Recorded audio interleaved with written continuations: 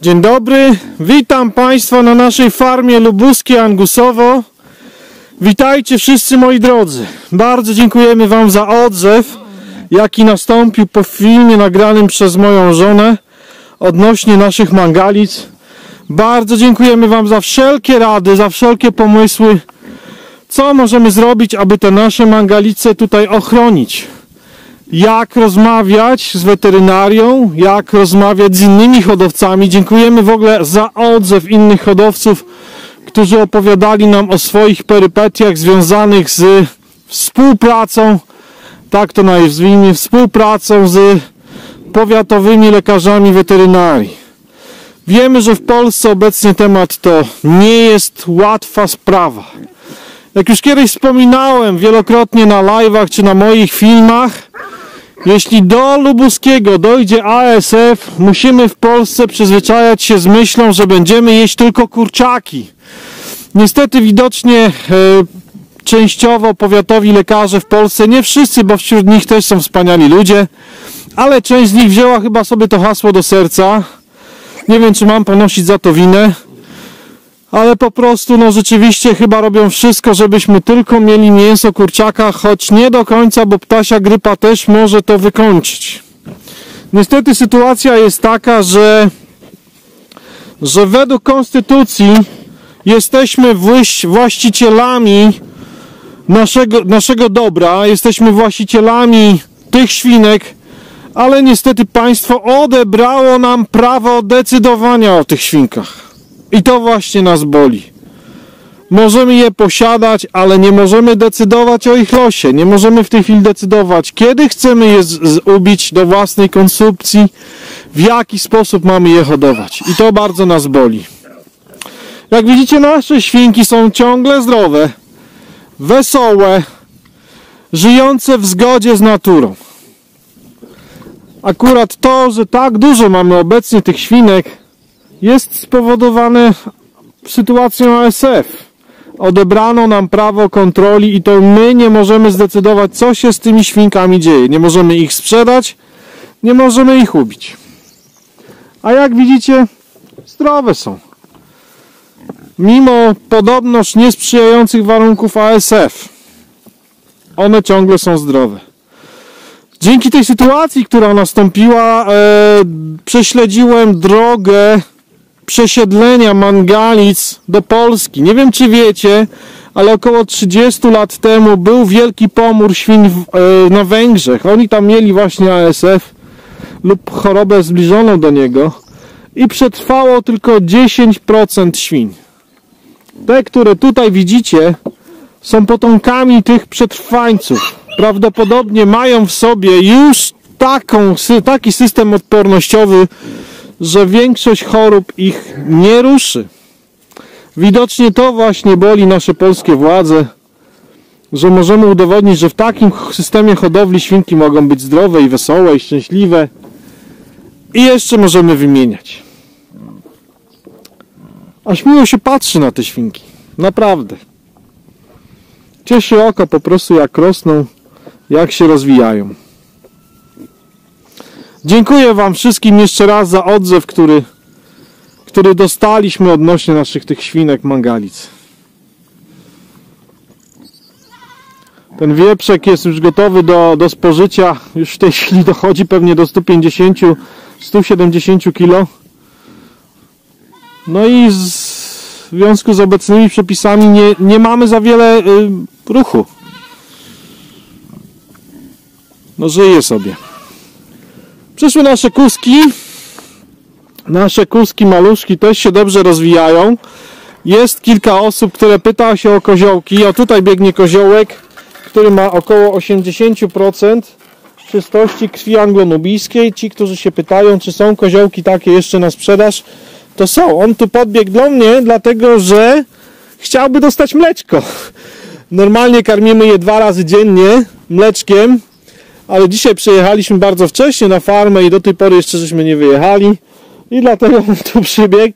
Dajcie mi mleka, dajcie mi mleka. Fajne są te koziołki, bardzo przyjazne. To jest właśnie praca hodowlana, żeby dochować się zwierząt które są przyjazne dla swojego gospodarza. O, no chodź, chodź maluchu. Reszta koziołków jeszcze na polu. Jak widać sobie fajnie latę. Cześć latę, cześć. Też myśli, że dostanie mleczko. O, piękna kuska. Naprawdę piękna. Jak, zobaczcie, jak mnie za palca za, ten zaczepiają. Próbują, czy a, czy będzie lecieć mleko, jak ssają. Niesamowite one są. O, jak sa. Tak, masz palucha, masz. Na szczęście umyłem, są czyste. Nie, żeby mnie tu próbował czymś zarazić. Są czyste. Zdezynfekowane. O. Wiem, wiem, dużo ludzi mówi ostrzygnij owieczki. Jak przyjdzie na to czas, jak się ze wszystkim obrobimy, to w końcu gdzieś pożyczę maszynkę i je ostrzygę.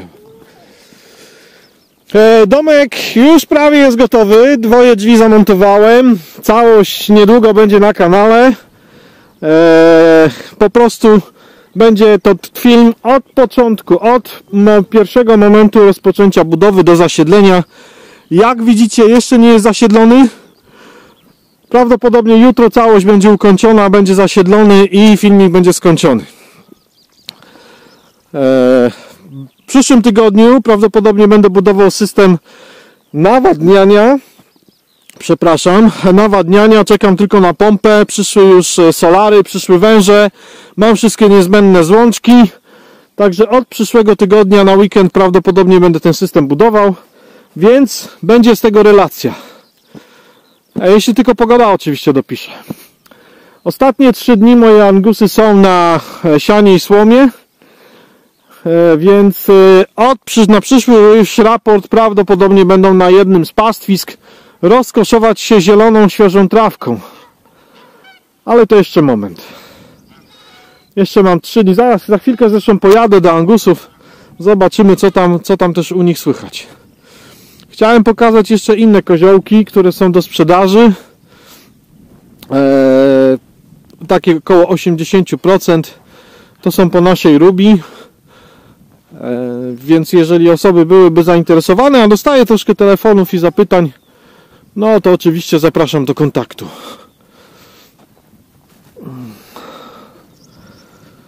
Ty jesteś koziołek? Pokaż się. Czy ty jesteś tak, koziołek? To tutaj ten co biegnie, to też jest e, koziołek. Taki prawie 80% to są penelopki. Tak, to są te trzy koziołki. Wszystkie z nich są 80% praktycznie, także jeśli ktoś jest zainteresowany, to z nich można wybierać właśnie. I jeszcze jest jeden Sheldon, nie Sheldon, tylko też na S. Moje dziewczyny ponadają imiona i później ja je zapominam. To też jest taki. O, te penelopki teraz piją mleczko. One są 80%. To je, one też są do sprzedaży. Biegnie reszta hołastry. Pora karmienia. A, aż trzy. Aż trzy próbują pić.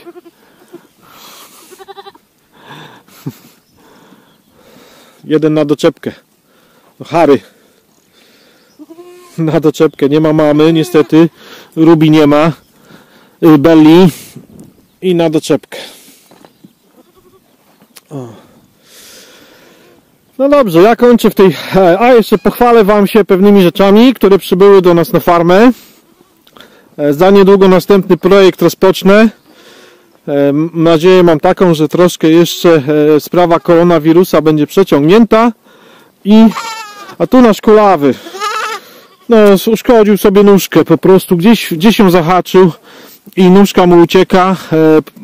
Byliśmy u weterynarza. Jest szansa, że ona się podleczy ale po prostu ma w kolanie osłabioną. O, przyszły do mnie, bo chcą mleczko. No. Jak, jak się zapomni, to stawia porządnie tą nóżkę, a jak nie, to ta nóżka mu troszkę ucieka. O, ta ma brójkę. Chciałaby do Rogera, ale to jest jego córka. Gajusia znowu pełne mleczka. Przestała karmić swoje maluchy i musimy ją ręcznie trzymać. Zamówiłem ostatnio ramki do troszkę zmodyfikowania podejścia do naszego poskromu. E, po prostu stwierdziłem, że obecny system nie jest wygodny. O, chodźcie tu. Chodźcie, tu chodźcie, chodź. No, uciekać. Myśmy je przyzwyczaili do tego, że wychodzimy z nimi tutaj na ścieżkę i je tutaj karmimy, ale dzisiaj nie ma karmienia. Zamówiłem ramki z bramkami, żeby po prostu można łatwiej było doktorowi, weterynarzowi podejść, zbadać e, krowę. Także niedługo będzie instalacja, będzie można podejść z dwóch stron. Bardzo fajne rozwiązania. Jest brameczka, można sobie po prostu zamknąć krowę, otworzyć bramę, podejść od tyłu, zrobić badania i zamknąć bramkę. Świetne rozwiązanie, także za niedługo będzie już używane tutaj u nas na farmie. Jak widzicie na razie jest tylko oparte. E, Stare ramki e, wyjdą i będą używane do koralu, a nowe będą zainstalowane właśnie w tym miejscu, tu gdzie obecnie jest ta ramka, będzie zainstalowana ramka z wejściem. Także super rozwiązanie tutaj będzie. Rury też znikną, z drugiej strony też będzie brama z, e, e, będzie e, ta ramka z bramą. Także naprawdę będzie, przypuszczam, że będzie nam bardzo znacznie łatwiej, nawet jak jeżeli krowa będzie miała szok poporodowy. Zamkniemy ją w poskromie, od tyłu otworzymy bramkę, wniesiemy malucha, żeby go przystawić. Taki jest pomysł. Też pojawiły się ramki tam w karcerze. Mieliśmy taki przypadek, że nam mały wyskoczył przez y, to ogrodzenie, więc y, pojawiły się nowe ramki, żeby to wzmocnić. I dodatkowe trzy ramki na to, żeby e, powiększyć y, wielkość naszego koralu. Stado jest coraz większe, potrzebowaliśmy dodatkowych ramek. Tu będzie ramka zmieniona do jałówek. Te dechy tutaj znikną. Pojawi się ramka, będzie ona tylko tutaj zamocowana, co pozwoli, że jeżeli nadejdzie czas wyciągania tutaj tej całej warstwy, które te nasze zwierzęta zostawiły, to się po prostu ramkę otworzy, wjedzie traktor, wyciągnie co trzeba i po sprawie. Na razie jest tylko tak zamocowana, żeby ładnie wyglądało i żeby jałówką nie przyszło na myśl, żeby tędy spróbować wyjść. Jeszcze zajrzymy do królików. Sobie żyją. Nic się tutaj nie zmieniło. Zostały dopuszczone. Czekamy, czy coś, e, to było chyba ze dwa tygodnie temu. Czekamy, czy coś się urodzi. O, tutaj to wymaga sprzątania. Dzieci były dzisiaj na farmie, ale szybko się zmyły. Tutaj jedna miała maluchy, chyba jeden żyje. Albo i nawet nie. Gdzieś tu był w gnieździe.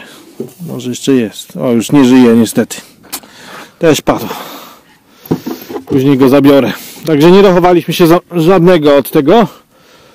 Yy, od tego króliczka. Nie skończy na obiedzie.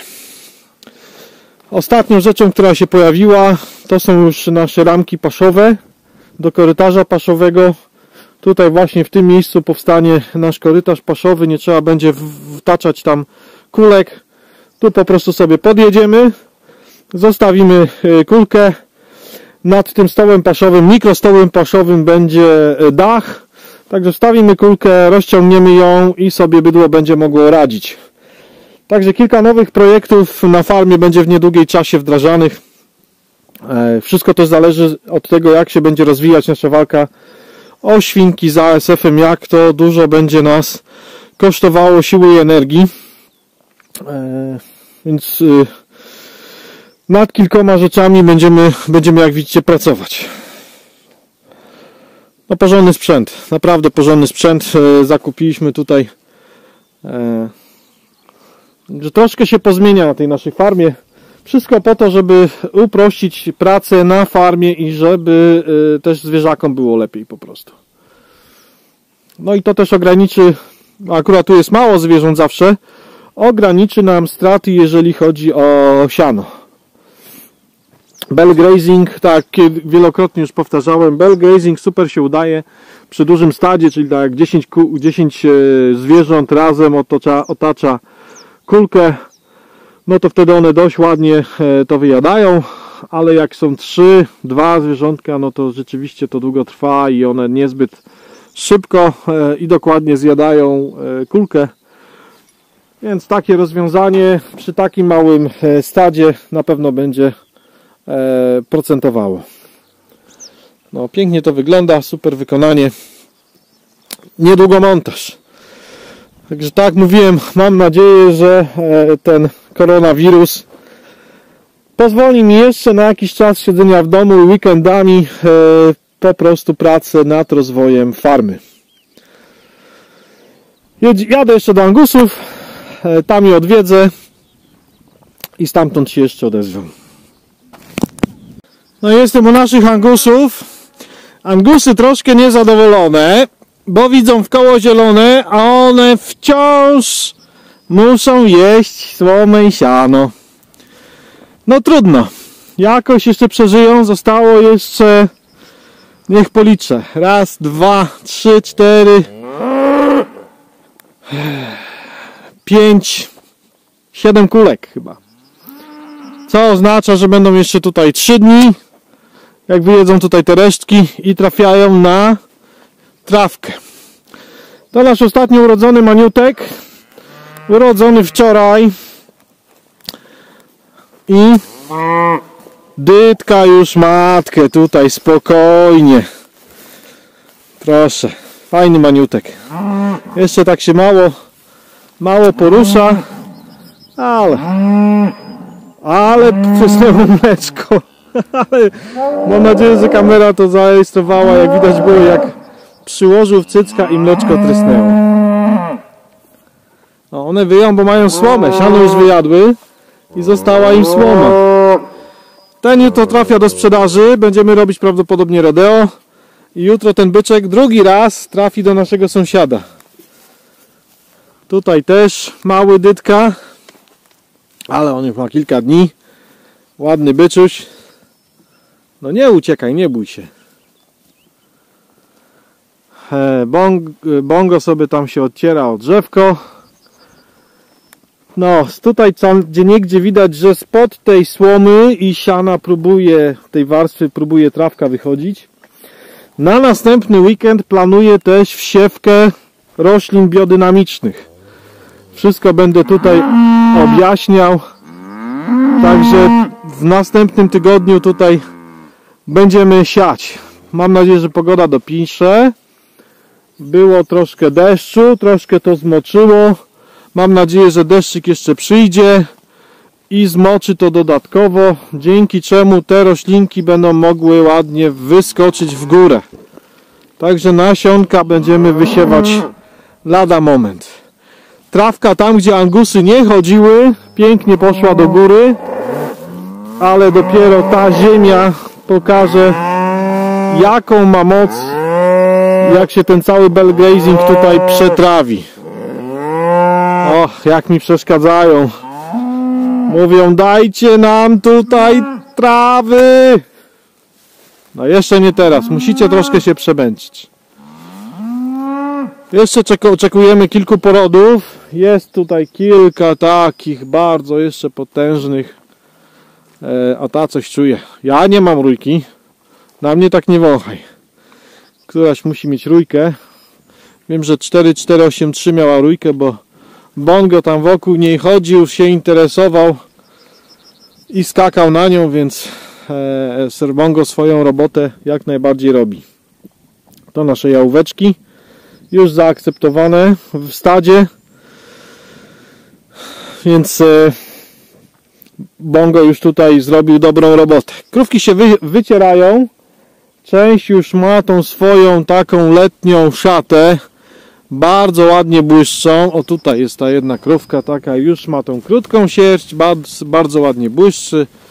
Ładnie wygląda. Także powoli się wszystkie wytrą do swojego letniego ubioru. O, widać bell grazing tutaj fajnie zrobiony. E, mam nadzieję, że wsiewka roślin dynamicznych pięknie odświeży to pole i będzie, będzie ładnie to wyglądało, będzie pięknie rodziło. Jak to mówi mój kolega, ale miałeś szeroki gest, pięknie posiliłeś im tutaj na tym pastwisku. No, one na szczęście same to robiły. Ja im tylko mówiłem gdzie i kiedy. Bardzo dziękuję Wam za uwagę. Kończę dzisiejsze występy, dzisiejszy raport. Jeszcze raz dziękuję Wam za wstawiennictwo, jeżeli chodzi o nasze mangalice. Z bardzo dużo różnymi fajnymi osobami udało nam się porozmawiać. E, filmik mojej żony zrobił taką furorę. Jest rozpowszechniany, bo naprawdę musimy zacząć działać, pokazywać po prostu, że e, nasze państwo nie we wszystkich dziedzinach dobrze działa, a jak się dobrze przyjrzeć, to praktycznie chyba w żadnej dziedzinie dobrze nie działa. I mam nadzieję, że świadomość naszego narodu będzie coraz większa i będzie można adekwatne do tego decyzje podejmować. Bardzo dziękuję za uwagę e, i do usłyszenia na live.